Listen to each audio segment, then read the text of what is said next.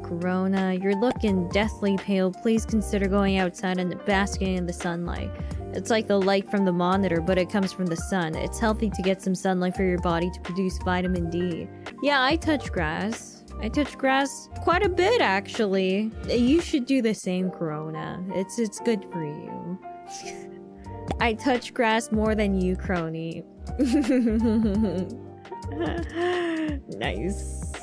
Okay. And Park Young Ki. Mm-hmm, mm-hmm, mm-hmm.